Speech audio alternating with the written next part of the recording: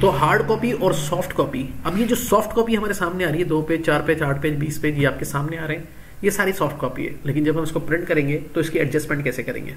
तो इसकी एडजस्टमेंट करना आसान है। इसमें दो चीज़ें देखनी है। एक, आपने पेज को सेटअप करना है वेट और हाइट और दूसरा, इसका मार्जिन सेट करना है। अब मार्जिन किसे कहते हैं? देखिए मार्जिन हम इसको कहते हैं, ये जो इसका लेफ़्ट साइड है, इसका, ये इसका लेफ़्ट मार्जिन है, ये इसका राइट मार्जिन है, ये इसका बॉटम मार्जिन है, ये इसका टॉप मार्जिन है। ठीक है।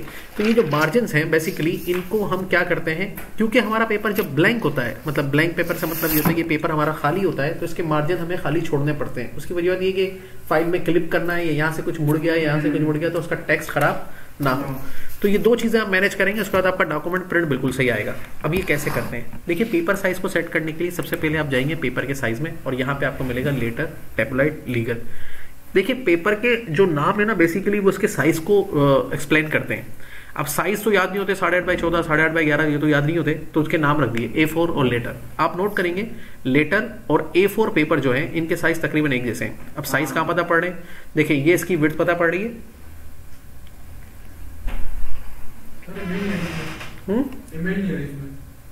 फोल्डर में कॉपी करो पहले इमेज अच्छा तो तो यहाँ पर देखें कि यह लेटर इसकी चौड़ाई आ रही है और यहाँ पे इसकी ये चौड़ाई है, ये सारे पेपर्स की विर्थ आ रही है लिखी हुई। और उसके बाद ये इसकी हाइट आ रही है, ठीक है? तो यहाँ पर देखें, ये भी हाइट आ रही है। अब आप नोट करें, इसकी 8.5 है और इसकी 8.27 है। तकरीबन सेम ही है, ढाई पॉइंट टू फाइव का ही फ़र्क है।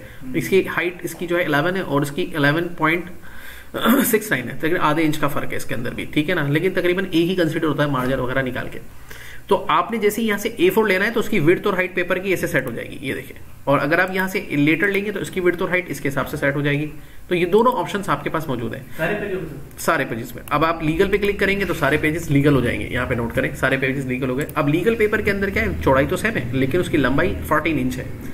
अब प्रॉब्लम क्या होता है? मिसाल के तौर पर पेपर मैंने कम, आ, प्रिंटर में लगाया लीगल और यहाँ पे मैंने सेट कर रखा लेटर तो होगा क्या? पेपर का नीचे वाला हिस्सा काफ़ी खाली रह जाएगा तकरीबन तीन इंच का। तो आप मैक्सिमम यूटिलाइजेशन नहीं कर सकेंगे।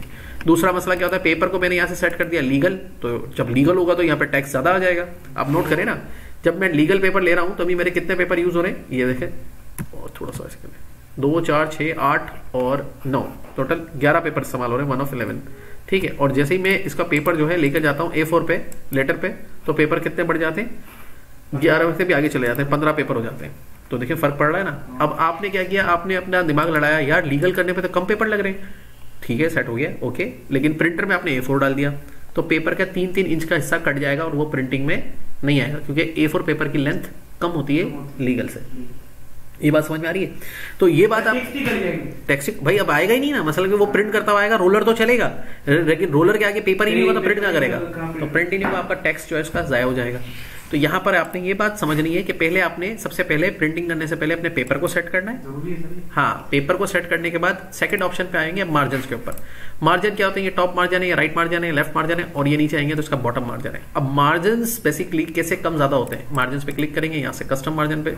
नैरो कर देंगे। तो ये देखें, चारों साइड से आधा आधा इंच का मार्जिन हो गया। अब अगर हम यहाँ से नॉर्मल कर देंगे तो चारों तरफ़ से एक एक इंच का मार्जिन छोड़ेंगे। मार्जिन के पीछे भी स्टोरी है। ज़्यादा मार्जिन छोड़ेंगे तो टेक्स्ट कम आएगा पीच के ऊपर। कम मार्जिन छोड़ेंगे तो टेक्स्ट ज़्यादा आएगा। अब हम इसको कस्टम मार्जिन कैसे करते हैं? देखिए कस्टम मार्जिन से क्या मतलब होता है? देखिए नॉर्मल ये प्री डिफाइंड मार्जिन है। नैरो ये प्री डिफाइंड मार्जिन है। कस्टम मार्जिन मतलब अब मैं अपने हिसाब से सेट करूँगा कौन सा मार्जिन कम रखना है और कौन सा मार्जिन ज़्यादा रखना है। तो इसके लिए मैंने सबसे पहले क्या करना है? यहाँ पे क्या नॉट में और यहाँ जाने के बाद ये वन का मतलब है वन इंच ठीक है? और one point two point five का मतलब है half inch half and half inch और यहाँ पे वन पॉइंट फाइव डेढ़ इंच और two inch two point five ढाई इंच ये इस तरह से डिफाइन किए जाते हैं। अब आपने कैसे करा मिसाल के तौर पे मुझे टॉप पे इतना स्पेस नहीं चाहिए तो मैंने ऊपर वाला कर दिया पॉइंट टू फाइव बॉटम पे मुझे स्पेस कम चाहिए तो उसको भी कर दिया पॉइंट टू फाइव आधे का आधा। लेफ़्ट मुझे क्लिप करना है फ़ाइल को तो ये वन कर दिया और यहाँ पे पॉइंट फाइव करके और जैसे एंटर किया तो यहाँ पे देखेंगे कि आपका जो मार्जिन है वो इस तरीके से सेट हो गया। लेफ़्ट मार्जिन ज़्यादा है। कम हो गया कम हो गया। तो इसमें हमारा पेपर जो है आ, का मैक्सिमम यूटिलाइजेशन भी हो गई और लेफ़्ट वाला जो हमारा ऑप्शन था जिसको हम फ़ाइल में क्लिप करेंगे वो भी हमारा अचीव हो गया। सर अगर मार्जिन ज़्यादा करेंगे तो फिर पेज वैसे भी बढ़ जाएँगे टेक्स्ट बीच में हाँ तो भाई जब काफ़ी हिस्सा फारिग रहेगा तो फिर पेजेस के नंबर आपके बढ़ जाएँगे। उसके बाद आते हैं ओरिएंटेशन पे। ओरिएंटेशन क्या होती है? स्क्रीन के अंदर। अच्छा यहाँ पे प्रिंटर का कोई अमल दखल नहीं है सिर्फ़ ओरिएंटेशन का मतलब क्या होता है। अभी आपके पेपर के ऊपर जो प्रिंट होगा ना वो इस तरह से होगा। इस तरह की जो भी प्रिंटिंग हो रही होती है ये देखिए आप प्रिंटिंग देख रहे हैं। इस तरह की जो भी प्रिंटिंग होती है इसको हम कहते हैं पोर्ट्रेट प्रिंटिंग पोर्ट्रेट। हाँ अब अगर इसी को हम इस तरह से प्रिंट करवाएँगे तो ये हो जाएगी लैंडस्केप लैंडस्केप अच्छा पेपर दोनों सूरतों में पेपर ऐसे ही लगेगा प्रिंटर में। यहाँ से हम डिसाइड करेंगे कि प्रिंट पोर्ट्रेट कराना है या उसको लैंडस्केप कराना है। अब सवाल ये पैदा होता है पोर्ट्रेट लैंडस्केप ये कब करते हैं? देखें वर्ड में जब हम काम करते हैं तो जितने भी letter CV application thesis notes वगैरह बना रहे होते हैं वो सब पोर्ट्रेट में ही बनते हैं। जितनी भी डॉक्यूमेंटेशन है कोर्ट की डॉक्यूमेंटेशन सब सिर्फ़ लैंडस्केप कब करेंगे? जैसे सर्टिफिकेट बना रहे हैं। किसी फ़ाइल का कवर पेज बना रहे हैं तो उसको लैंडस्केप करते हैं। अदरवाइज़ सारा काम पोर्ट्रेट में हो रहा होता है। तो पेपर को लैंडस्केप कैसे करेंगे यहाँ क्लिक करेंगे लैंडस्केप लैंडस्केप करने से होगा क्या? जैसे समझे? ये मेरा मोबाइल अभी पोर्ट्रेट व्यू में है और जब मैं इसको ऐसे कर दूँगा तो लैंडस्केप होंगे। तो जो इसकी विड़ थी वो हाइट बन गई जो हाइट थी वो इसकी विड़ बन गई। तो जैसे क्लिक किया मैंने इसके लैंडस्केप के ऊपर तो ये देखें width become height height become width लेकिन आपने प्रिंटर में पेपर वैसे ही रखना है जैसे उसमें रखा जाएगा। अब प्रिंटर का काम है कि वो उसको लैंडस्केप में प्रिंट करेगा आपके पेज को। वो प्रिंट सर ऐसे करेगा। वो प्रिंट ऐसे करेगा हाँ। ठीक है तो ये बात आपने जहन में रखनी है पोर्ट्रेट और लैंडस्केप कब करना है? एज सर कम हो जाएगा लैंडस्केप में देना। तो विड्थ बढ़ गई ना हमारी तो पेजेस थोड़े से कम हो गए। ठीक है? है। टेढ़े ये बस टेढ़े हो गए पेज हाँ वो इस तरह के हो गए। पहले पोर्ट्रेट पे कितने आ रहे हैं? पोर्ट्रेट में पेज। टेढ़ा नहीं करेगा? प्रिंट ये जो ऐसे हो रहा है ना हाँ। ये ऐसे नहीं प्रिंट करेगा उसको इस तरह प्रिंट करेगा इस तरह से। अच्छा। इस तरह से प्रिंट करेगा उसको इस तरह से। पेज ऐसे देना है हाँ। ठीक है। अच्छा अब उसके बाद चलते हैं कॉलम्स के ऊपर।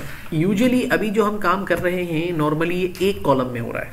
हम इसको डिवाइड कर सकते हैं दो कॉलम के अंदर हम इसको डिवाइड कर सकते हैं तीन कॉलम के अंदर। ये काम हम कब करते हैं? जैसे हम मैगजीन के अंदर वो जो अखबार में भी आ रहे होते हैं उसके बकिया जो सफ़ात पे तफसीलात होती हैं, उसमें कॉलम बने हुए होते हैं। तो इस तरह के कॉलम्स हम वहाँ पे यूज़ कर रहे होते हैं। तो तीन से ज़्यादा भी कर सकते हैं, मोर कॉलम्स में चले जाएँ और यहाँ पे छः कॉलम्स में भी आप इसको डिवाइड कर सकते हैं और इसको इस तरह से भी दिखा सकते हैं। ये देखिए, ठीक है?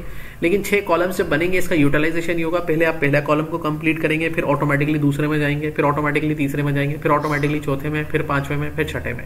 ऐसे डायरेक्टली आप छठे में जाके नहीं लिख सकते इसमें, ये लिमिटेशन होती है इसके अंदर। और दोबारा वन कॉलम के करेंगे तो आपका टेक्स्ट विदाउट लूजिंग कोई भी चीज़ दोबारा से वन कॉलम में पूरा का पूरा आ जाएगा। इस कॉलम का यूटिलाइजेशन एक और भी है। मिसाल के तौर पे आप दो पैराग्राफ चल रहे थे बीच में और कुछ नाम आ गए, जैसे यहाँ पे नाम आ गया computer LCD keyboard mouse printer scanner और उसके बाद आ गया ब्लूटूथ और उसके बाद आपने यहाँ पे लिख दिया एलईडी एडॉप्टर लैपटॉप डेस्कटॉप ये सारे आपने ऐड कर दिए। अब आपने कहा, यार प्रिंट तो कर रहा हूँ, सही है, बिल्कुल बेहतरीन हो रहा है, लेकिन यार, ये ऐसे प्रिंट हो रहा है तो मेरा ये हिस्सा तो सारा फ्री रहा है।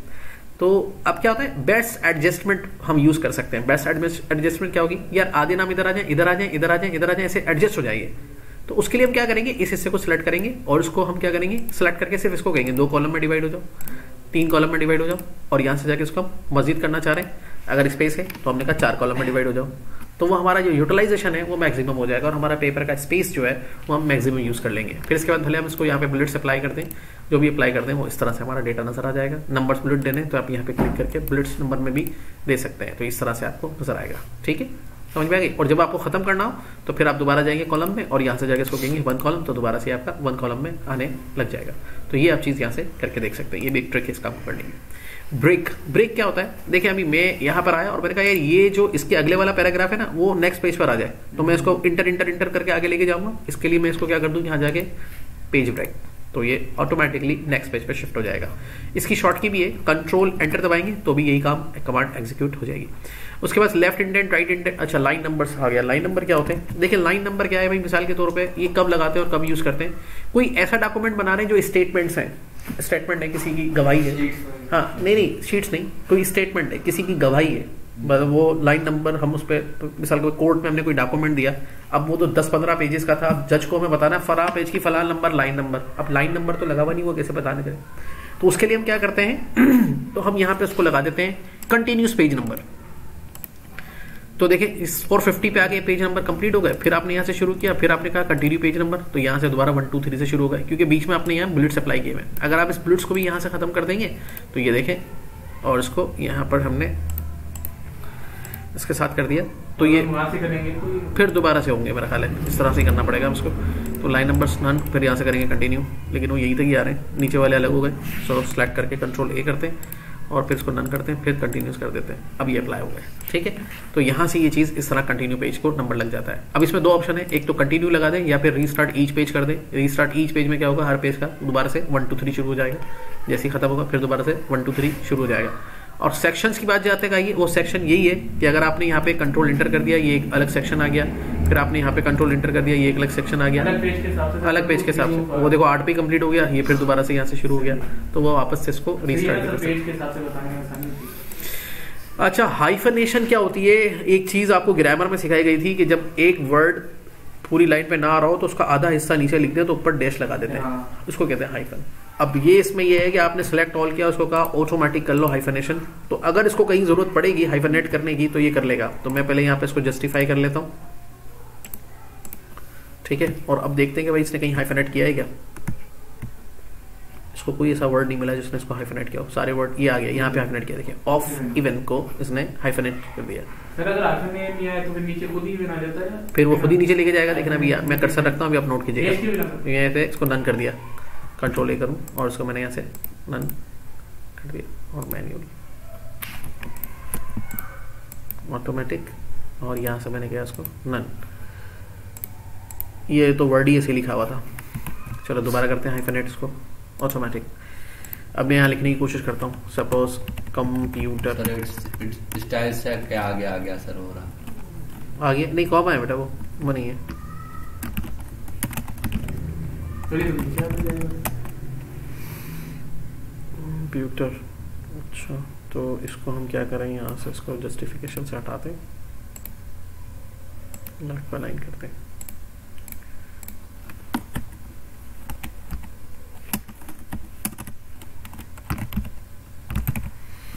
कर नहीं रहा है इसको ये।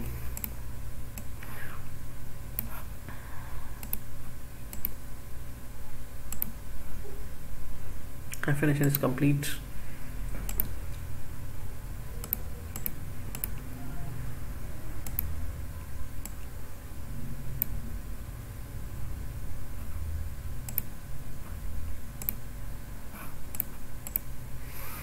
चलो इसको फिर देखेंगे। अभी तो ये नहीं कर रहा। इस वजह से नहीं कर रहा।